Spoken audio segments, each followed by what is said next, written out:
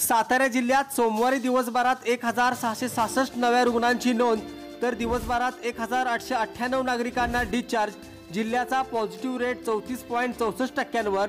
सातारा जिल्ह्यात कोरोनाने थैमान घातले असतानाच सोमवारचा दिवस काही अंशी दिलासा देणारा ठरला. या दिवशी बाधितांपेक्षा डिस्चार्ज देण्यात आलेल्या रुग्णांचा आकडा मोठा होता.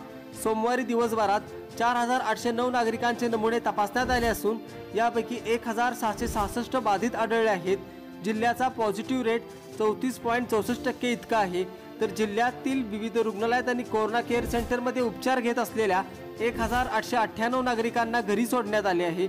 आज अखेर एकूण पंच्याहत्तर हजार चारशे शहाऐंशी नागरिकांना डिस्चार्ज देण्यात आला आहे. जिल्ह्याचा रिकव्हरी रेट चांगला असून बाधित रुग्णाहून घरी सोडण्यात आलेल्या रुग्णांचे प्रमाण अधिक आहे. कोरोना संसर्ग रोखण्यासाठी जिल्हा प्रशासन युद्ध पातळीवर प्रयत्न करत आहे. याचबरोबर जिल्ह्यातील अनेक गावांनी जनता कर्फ्यू लागू केला आहे. मात्र अत्यावश्यकच्या नावाखाली रस्त्यावर गर्दी होत असून नागरिकांनी किमान स्वतःच्या रक्षणासाठी तरी प्रशासनाने घालून दिलेल्या नियमांचे पालन करणे गरजेचे